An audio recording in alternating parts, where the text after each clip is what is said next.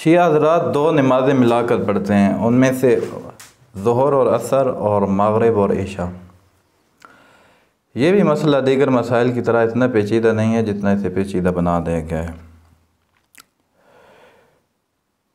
अब क्योंकि शिया ही हकीकी अहल सुन्नत हैं, हकीकी अहल सुन्नत शिया ही हैं, रसूल खुदा की सुन्नतों पर अमल पैरा होने वाली जो जमात है वो शिया इमामिया ही है। और ये दावा नहीं है, ये आप हमारी वीडियो देखें तो हमने अक्सर जिन भी मसाइल पर गुफ्तु किया, रसूल खुदा के फ़रामीन और रसूल खुदा का तरीका दिखाया आपको। अब कोई बंदा ये कहता है कि जी जनाब मुझे समझ नहीं आती ये बात कि जनाब दो नमाज़ इकट्ठी मिला कर पढ़ लेते हैं, ये शिया, और ये फिर कहते हैं कि हमने नमाज़ पढ़ ली, हमारी नमाज़ हो गई है। तो सर, जितने भी आपके जहन में शियों को इकट्ठी नमाज़ें मिला कर पढ़ कर देखते हो, जितने भी आपके जहन में ख्याल आते हैं, जितने भी आप लोगों को उसे क्या कहते हैं, आपकी सोचें पैदा होती हैं, वो सारी के सारे आपके जो एतराज़ा पैदा आपके जहन में होते हैं, वो आप रसूल खुदा की ज़ात पर करें। उन्होंने मिला कर नमाज़ें पढ़ी हैं, सरकार, हमें ना गुस्से हों।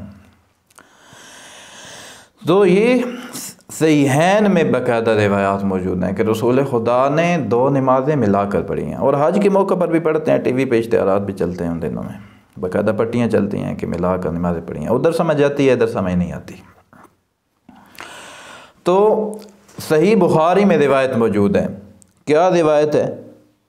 कि अब्दुल्ला इबन अब्बास, वो फरमाते हैं कि, आ हज़रत सल्लल्लाहु अलैहि ने मदीना में रहकर सात रखतें सात रकतें मगरब और इशा की और आठ रकतें ज़ोर और असर की मिलाकर पढ़ी। अगर जनाब को बात समझ में नहीं आ रही तो बुखारी पढ़ो भाई। शियों का तरीका समझ में नहीं आ रहा, बुखारी पढ़ो तो समझ में आ जाएगा।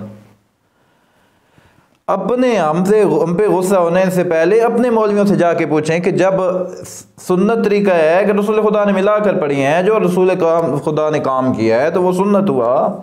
वो काम करना सवाब है। तो आप भी जो नाम मिला कर नमाज़ें पढ़ें ना, और कभी ज़िंदगी में एक दफ़ा ही पढ़ दें और एक दफ़ा हज में जाके तो पढ़ते हैं। शायद उधर भी ना पढ़ते हों, कि जी शिया क्योंकि मिला के पढ़ते हैं तो शायद इधर ही शिया हो सकता है ना सरकार। तो ये बुखारी शरीफ है, बुखारी शरीफ की पहली जल्द है और सफ़ा नंबर आपके सामने तीन सौ सत्तर से जो है वो रिवायत पढ़ी है कि जो है वो मिला कर पढ़ी।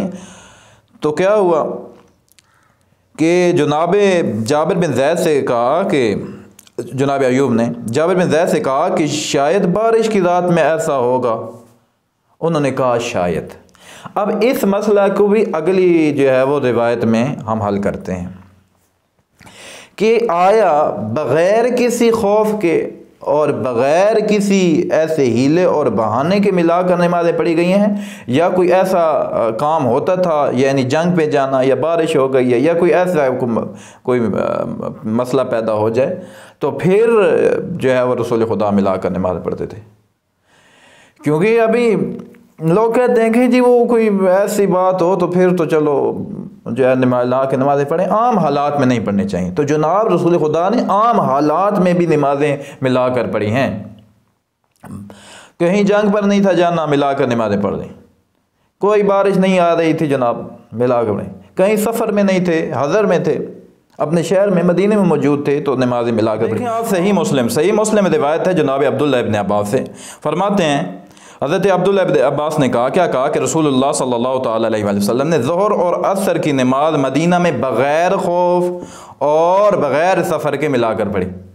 ना सफ़र पे जा रहे थे, ना ही किसी चीज़ का खौफ था, नमाज़ ने मिलाकर पढ़िए तो आम हालात में रसूल खुदा की ये सुन्नत है आम हालात में भी नमाज़ मिलाकर अगर कोई बंदा पढ़ लेता है, मसला नहीं है, बल्कि सुन्नत है। रसूल खुदा की सुन्नतों पर। चलें।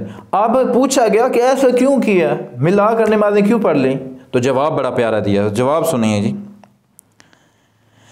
कि अबू ज़ुबैर फरमाते हैं, उन्होंने कहा कि मैंने सईद से पूछा कि आपने क्यों ऐसा किया रसूल खुदा ने? तो उन्होंने कहा कि मैंने अब्दुल्ला इबन अब्बास से यही पूछा था कि उन्होंने ऐसा किया, क्यों किया? जैसा तुमने मुझसे मुझसे पूछा, उन्होंने कहा कि हज़रत सल्लल्लाहु अलैहि वसल्लम ने चाहा कि आपकी उम्मत में से किसी को तकलीफ़ ना हो।